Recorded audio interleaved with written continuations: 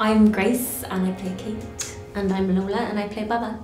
It's Um, it's that thing that when you have a friend when you're younger and you choose to stay together and then you start to discover that you're different and they both very much want the same things but they go about it in really different ways. Yeah, but they do love each other. A lot. Lots. Baba is all the life, the fun, the the partying, the the making love and, and letting your hair down.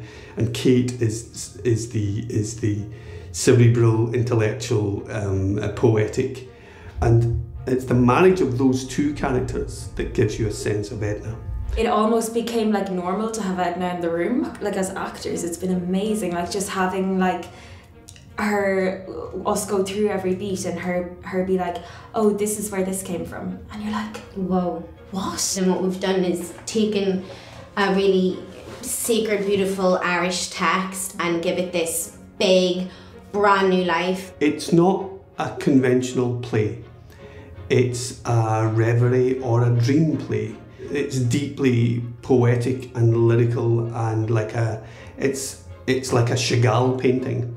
The design, without ruining too much, Yeah. the design is built so that it's accessible and tour and they can take everything that's being done in the Abbey is going to be taken to those stages. There is not going to be a thing missed.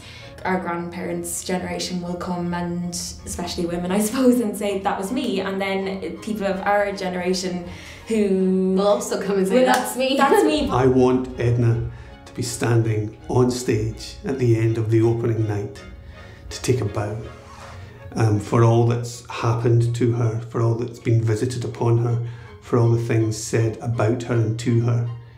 Um, I want her to be celebrated.